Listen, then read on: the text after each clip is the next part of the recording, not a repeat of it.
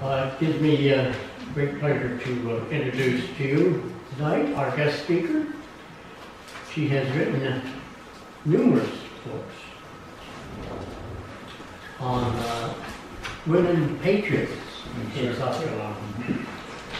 Uh, She has not written uh, about tonight's uh, hero, heroine, Heroin. heroine. Uh, But uh, I put the uh, beer, uh, uh, bee in her bonnet. Yes. So, uh, in, in fact, uh, Sheila has won a, an award. The uh, Gilmer, Bobby Gilmer Moss. Bob Gilmer Yes, sir. Award. Is that, uh, That's South Carolina DNR South Carolina. award. Mhm. Right. well, without further ado, an evening with Sheila Ingle.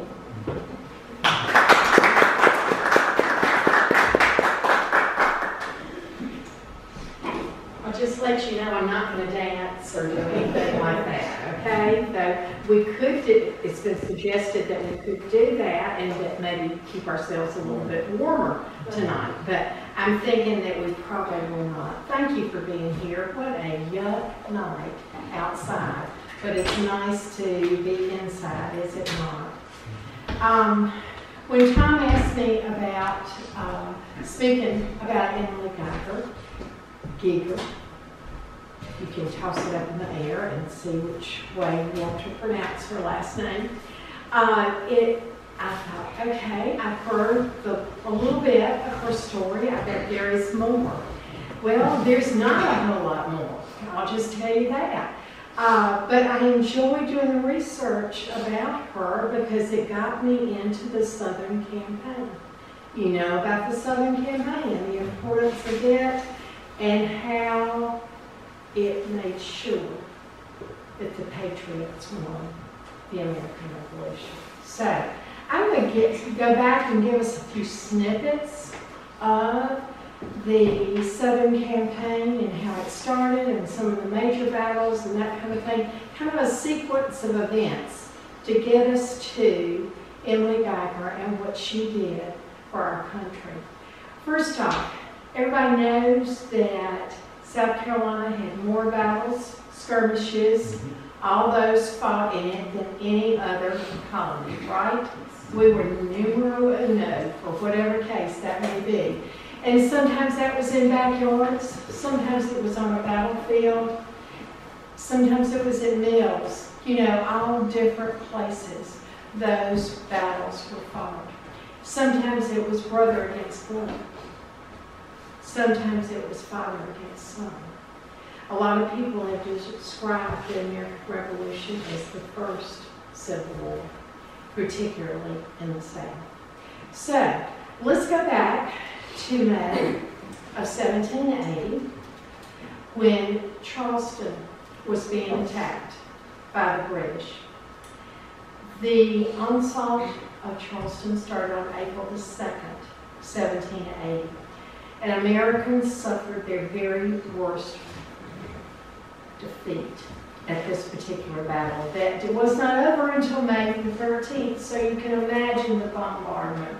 If you've been to Charleston, you've seen all the logos of everything that there is about that particular battle that went on and on. Major General Benjamin Lincoln finally surrendered unconditionally. Unconditionally. And we know what that word means, that nobody gets any favors, right? Nobody. So neither did the soldiers and neither did the commanders. But British Lieutenant General Sir Henry Clinton and his army of 10,000 took over Charleston. His particular boss, we could say, was a man by the name of General Lord Charles Cornwallis. It's very important that you have all those words in there, okay? Because it was important to them. This was part of who they were as far as the Army was concerned. It was part of their identification. And so I think it's good for us to tell, to use all those words. The British captured over 3,000 of our Patriot troops then. Put them in jail, sent them off to the Bahamas, did all, sent them to Florida, all sorts of things they did. And they only lost 250 soldiers. So that says to you a little bit that it was one-sided, no doubt. Cornwallis was left by General Clinton. Clinton decided that he needed to go to New York State. He heard the French were coming in to help the Americans in New York State, and he thought he needed to be there. So he left, and he left Carolina in the hands of Cornwallis. Well, anybody not seen The Patriot? Not. I think that's the right way to put it now, nowadays, right? I watched it about a month ago and was just fascinated once again with not all their eras of historical accuracy, but just the sense of the time. And you can't get away from the accuracy of that. Those were the kinds of things that happened. And General Cornwallis was very la-di-da, just saying, he was. And he made sure that the men that were under him knew that the next thing they were going to do was to take over Carolina. So he sent his good buddy, Banastre Tarleton, out.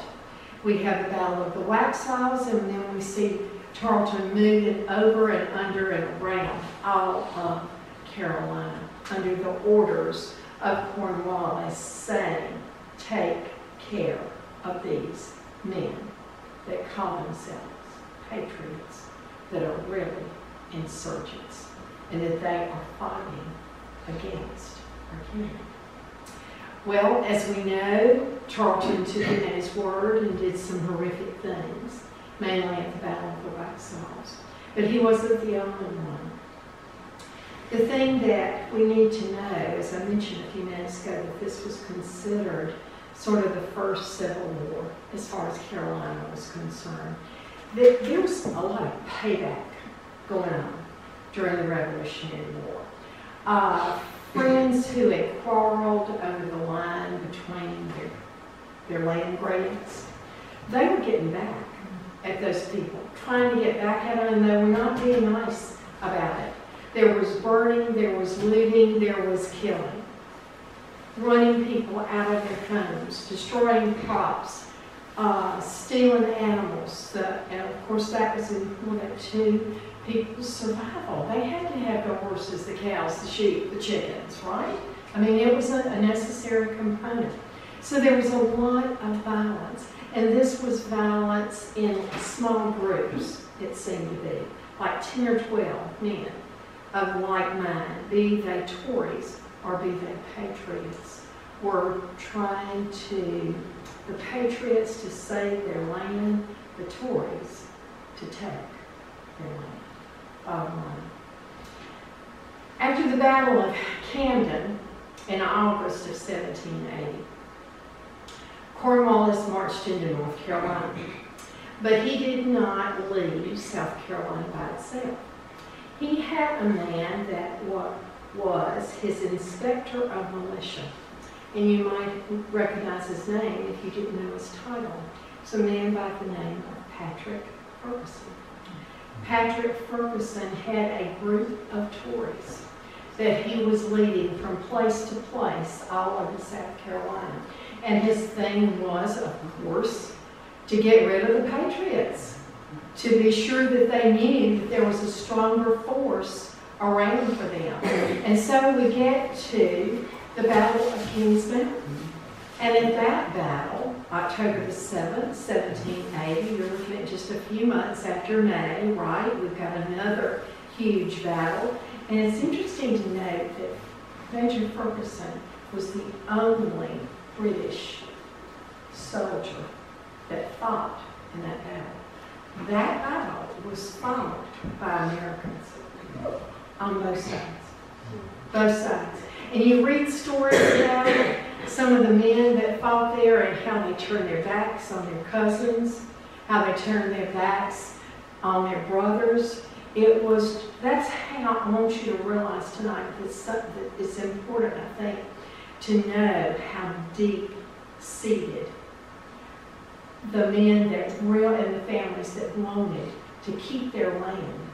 I know when my granddaddy was um, diagnosed with lung cancer and finally got out of the hospital and went to, got up to his home for about three more months. Um, Mother let him out of the car and he got out and he went and he knelt down his front yard and patted his land. That's the feeling I get of during the Revolutionary War. That's how important their land was to them. So here they are. There the, with the Battle of Kings Mountain. You've got the Over Mountain Men that we've heard so much about that came down from Tennessee. So interesting the way they just carried people along with them. And I think it's interesting, you may not know this, and I'm going to throw out some names as we go along, as I've already been doing, that it was a woman that they got their gunpowder from. A woman that made the gunpowder for all the Over Mountain men that came down from Tennessee. So I want you to realize, I want us all to realize that the women were involved in this too, in a military effort. So, one of the things I thought was interesting, I ran across this quote, I like quotes. Uh, so Henry Clinton said about this battle of Kings Mountain, he said, it was the first link in a chain of evils that followed each other in regular succession until they at last ended in the total loss of America. Of course, that's hindsight. They didn't know it at the time. But that was the first biggie, and it happened in Carolina. Major General Nathaniel Greene, I'm sure you've probably heard his name, was appointed by General Washington to be the Continental Army's Southern Campaign Commander. He decided that it was going to be wise for him to divide the Patriot troops that he had. And he, he didn't come down from the north with a whole lot of them, but he sort of gathered people as he went, and he did have a good sized army. He thought that it was important to divide them because already there in 1780, they had so many, 881, excuse me, they had so many, pe- 80 and 81, so many people that were trying to get the same foodstuffs. You've heard the comment that an army rolls on its belly. It's the truth. If they don't have food, they can't go. They can't fight. So this is what he, he was quite the strategist, was Nathaniel Greene. And this was one of the things he decided. So he started dividing up his Continental Army to see that he could get um, the British on multiple fronts. Rather than just attacking one, one group, he divided, sort of that divide and conquer thought that so many other armies had used.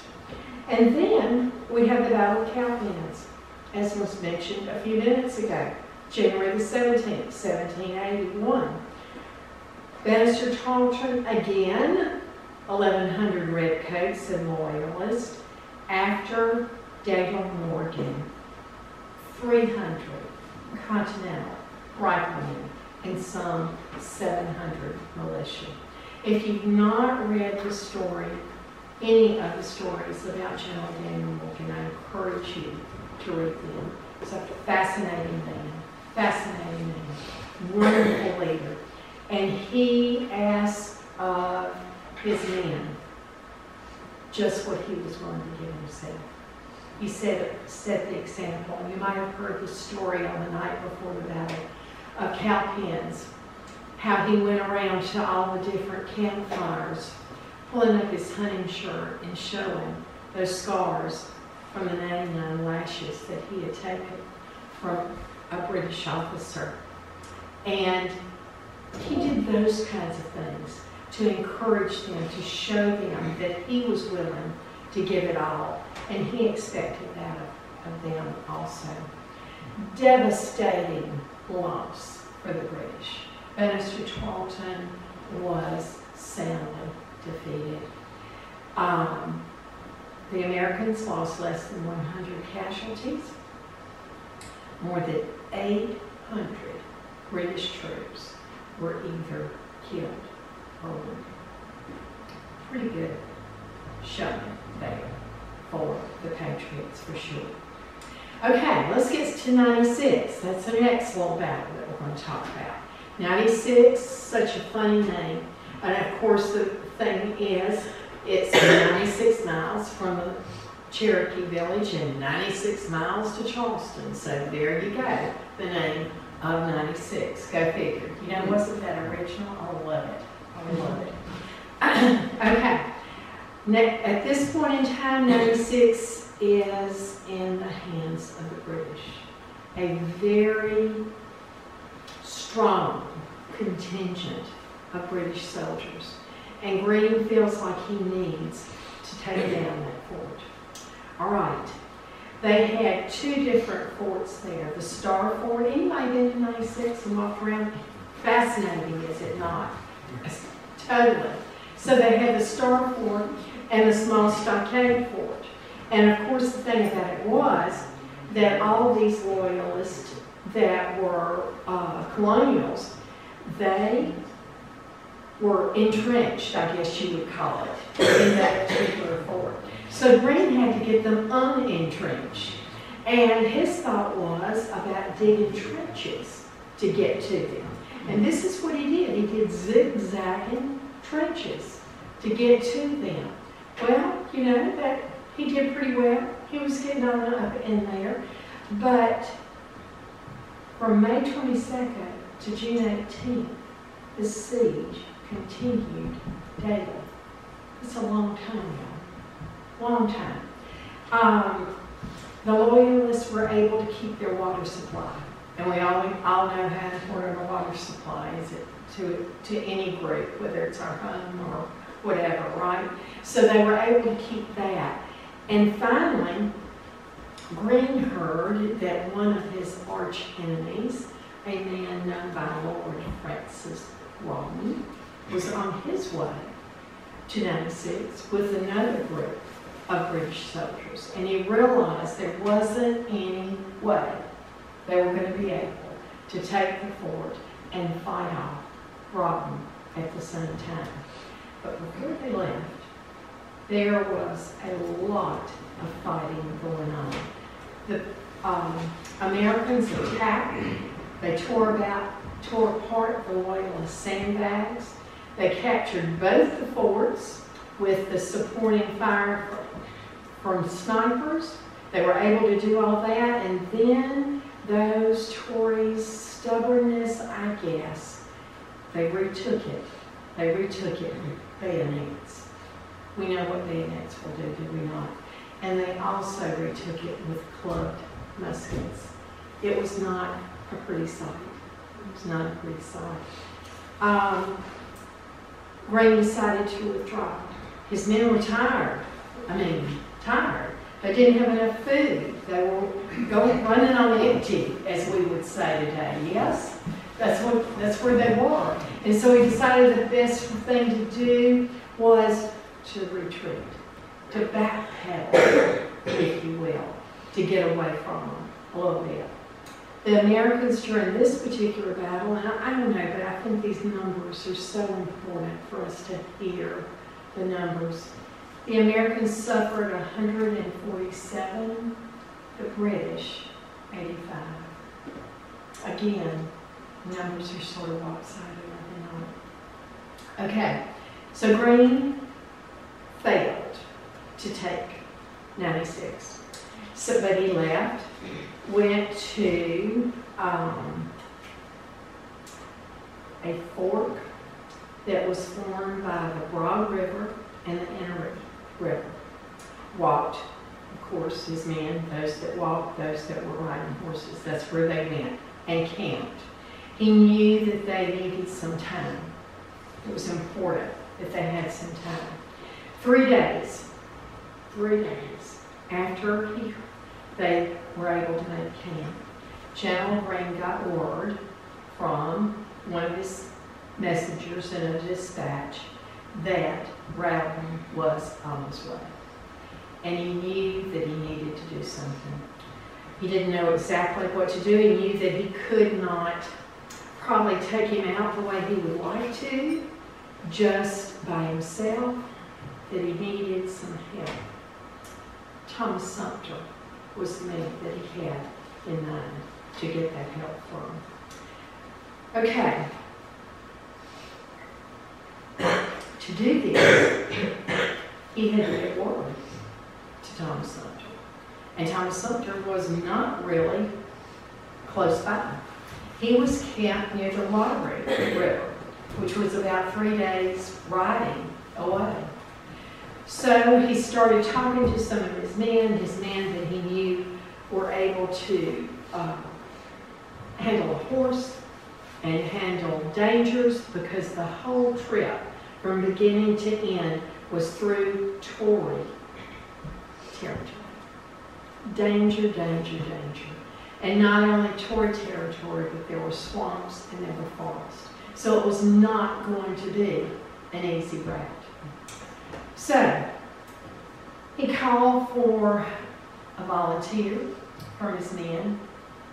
Nobody volunteered. And then he started sending out words to the surrounding area, asking for a civilian volunteer. Okay?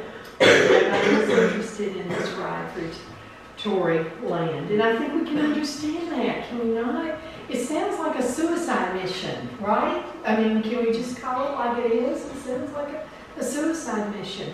And they were not willing to do that.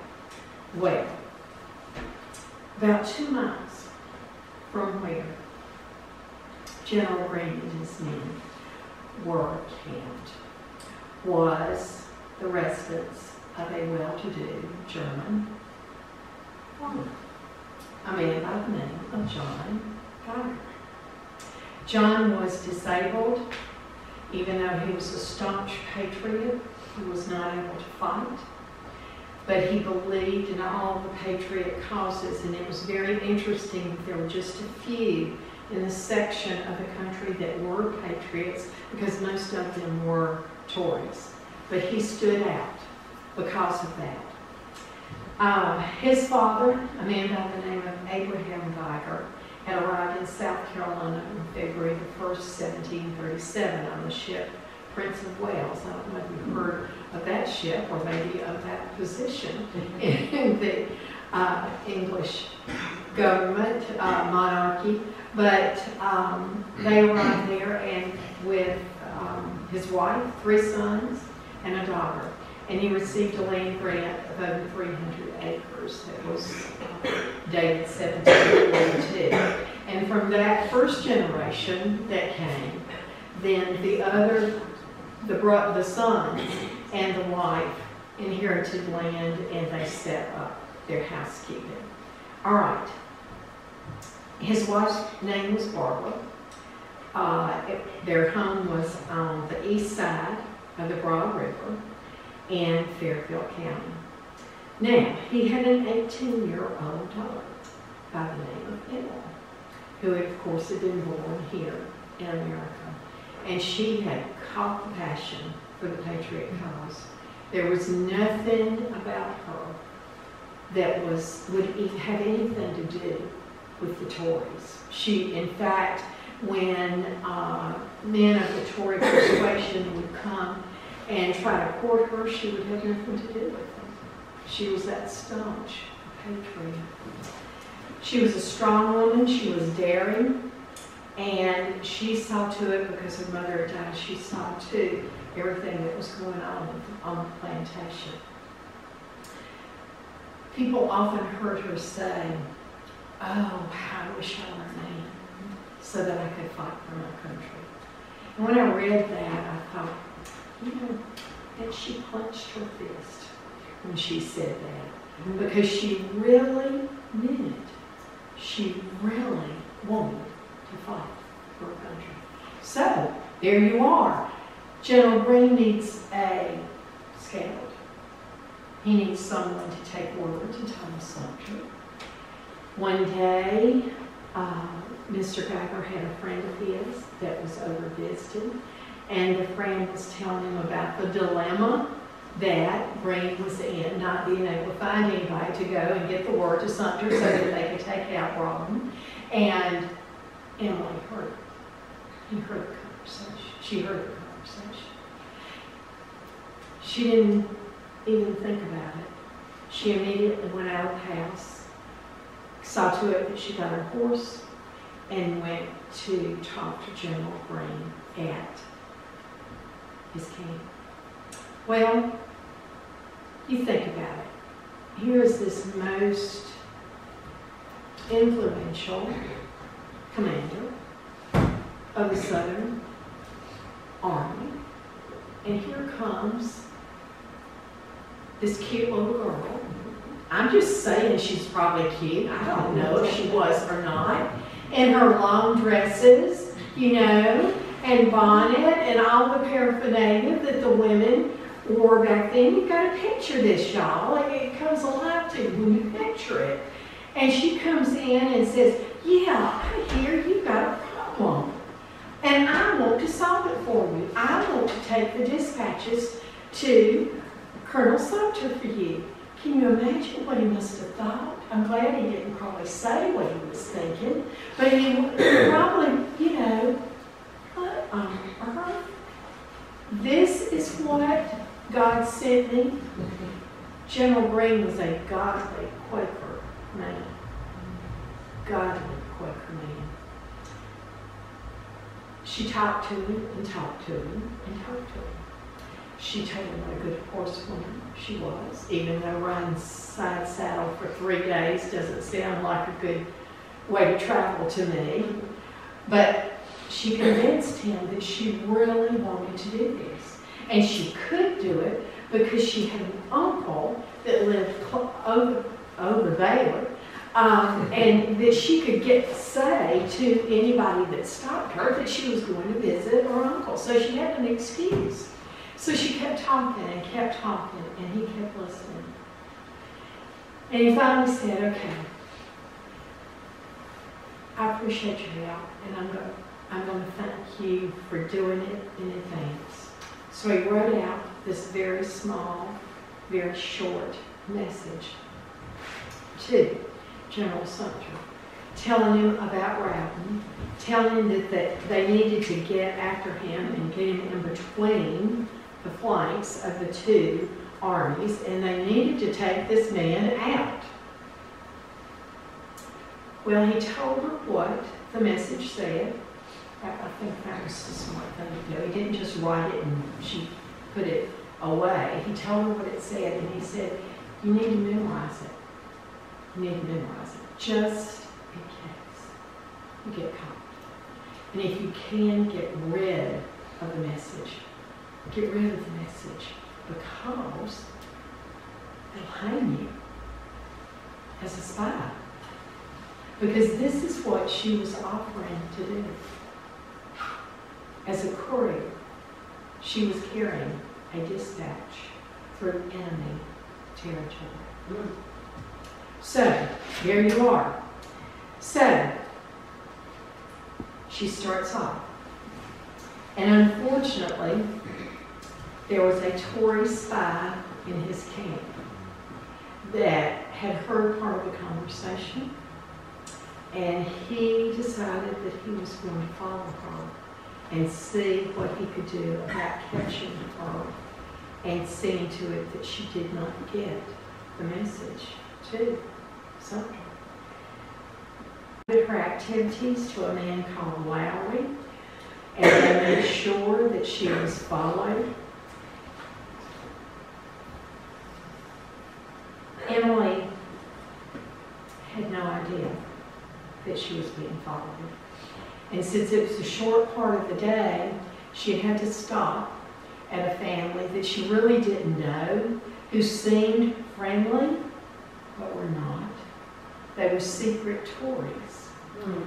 And of course, with that, they offered her food, place to sleep, all that kind of good stuff, and just, you know, being the kind people that they were. And recognizing her as maybe not being what she said she was. So in the middle of the night, that man that was tracking Emily, he showed up, banged on the door, told them who he was looking for, etc. The family said yes, she was there, she was asleep. And he decided, okay, well, I think I'll catch a little shut-eye, and I'll get her in the morning. Emily had good hearing. She heard all this to-do going on at the front door.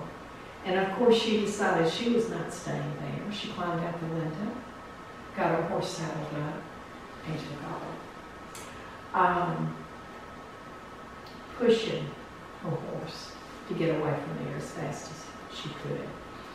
Okay, she's on this road, trail. We think road, y'all, but we're talking trail. You know, like horse and trail.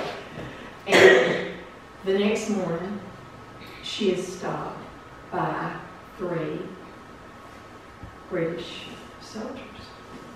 Uh, they're coming toward her. She's heading this way. Nowhere to go. Nowhere to hide. There she was. They realized that she was traveling alone. That was obvious. They wanted to know what Miss Danielle she was up to, where was she headed, all those kinds of things. And Emily had a problem about lying, which I find most interesting. She would blush profusely when she did not tell the truth. I can see where that would be a detriment sometimes, you think? And this was one of those times when it was a detriment. She was trying to tell her about her uncle and all this other stuff, and they obviously decided that she was not telling the truth to them. And so they took her into custody, and they took her to Fort Francis Brown. Mm. Okay, so here we are. He was camped about a mile from Fort Granby, so he was in the general direction there. She talked to him, told him the same sort of story that she had told these three soldiers. He didn't really with her. And he pushed a little bit, and she, no, she stuck to her story, and he said, well, we're just gonna have to search you. And he was a gentleman. And so he told the soldiers to lock her in this room there at his camp. And he called for one of the women that was at the camp that did the washing. And he told her that he needed for her to go and search Emily. All right, here she is. She has this message. Don't know how big it was, don't know where it was hidden. Probably in her pockets. If you've seen the clothes, the attire that the women wore back then, they wore pockets that were tied around their waist that had openings in them. Sometimes there was one pocket, sometimes there was two. And so probably this message, I feel like maybe was down in one of those pockets. She figured that she had to do something quickly. She knew she had to do something quickly. So she started tearing up the message and eating it, one little piece at a time. I'm thinking that probably didn't taste too good. I'm just thinking. And with nothing to drink to help, you know, you know, your mouth getting dry, we've all been there, you know, with that kind of thing. She was sort of in a pickle, but it was so interesting to read about this. Just as she heard that washerwoman coming in to um, check her out and see if she could find the message, she had one more piece, one more piece to get rid of. And she thought, okay. And so she put her head down, covered her, and acted like she was crying. Gentlemen, tears can work. Uh, Just saying. Uh, so she started crying, and the woman came in, you know, said, are you okay, blah, blah, blah, you know, this kind of thing. And of course, it gave her those few more minutes to get rid of and to finish the, um, eating the message. Okay. Nothing was found, needless to say. And Rawdon being the, I think we've already seen with this part of the story that he, he was a gentleman. And she did, he did, the, they did not find anything about her, uh, with her, you know. So he couldn't accuse her of being a spy because there was no evidence. He sort of had to believe her, even though it did sound quite fishy. He let her go. And in fact, he sent a soldier with her to get her to her next, to another uh, house that was along the way. Isn't that amazing? how he did that? Just, just truly, you know? Um, so that, the guy left her, they rode all night, and until, and by that time, they were pretty far from Lord Rawdon's camp. And she stayed there and rested for a little bit longer, and then she got up the next morning and started riding again. And by three o'clock that afternoon, she found Thomas Sumter's camp. She, of course, can you imagine, just weary, just wiped out, I guess we would say. Greene had told her, even though she didn't have the written proof, Sumter believed her, and within an hour, Thomas Sumter and his men were off to do what General Greene had asked them to do. That's pretty much in Emily's story. She stayed about a week with her uncle, went back home, probably recouping, you know, what I'm thinking. Just a little bit, three days, side saddle, horseback riding. Hmm. Um, and, and the fear factor, y'all, you know, had to have been with this. And then she went back home, and that's pretty much all we know about this story about Emily. She married after the war. She married a wealthy planter named John Threewits. They lived on the Congaree River in South Carolina. DAR, South Carolina DAR, has recognized her as a patriot. We have a chapter here in South Carolina named after her. Um, there is a marker that's been placed in her honor. And I guess all of that, even though we don't know much, we do know enough to know that this woman, among so many others, fought for our country, just like their husbands, their fathers, their brothers, their sons during the Revolutionary War. I happened to find a um, copy of her wedding invitation. That's the only physical evidence I could find anywhere without going to where the marker is uh, about her and her life. But I thought that was so interesting. Um, gentlemen, you might not be quite so interested in it as the ladies might be, but it's, it's handwritten, you know, which would have been right with the times. They would have handwritten it and then passed it around to whomever would have been taken by messenger to the different homes in the country. Um, I want to share another quote with you. In 1840, Charles Francis Adams, he was the grandson of President John Adams and Abigail Adams, he wrote, quote, the heroism of the females of the Revolution has gone from memory with this generation that witnessed it, and nothing, absolutely nothing, remains upon the ear of the young of the present. Unquote. We need to remember the ladies. If you're familiar with that series um, ATV put out uh, about John Adams, we see a lot of that. We see Abigail Adams' influence on him. And of course, she's just one among many. But in one of the letters that she wrote uh, to her husband when they were working on the uh, Declaration of Independence, one of the lines in it was, remember the ladies. Three words, remember the ladies. And I think as we're looking at the 250th in 2026 anniversary of our country, I'm going to encourage you to remember the ladies. Yes, sir. I remember reading the book one time about the ladies in South Carolina. and Yes, how you they did. referred to as steel ladies. That's right. Exactly right. And when you hear stories like this, you, you see, we can see why. We really can.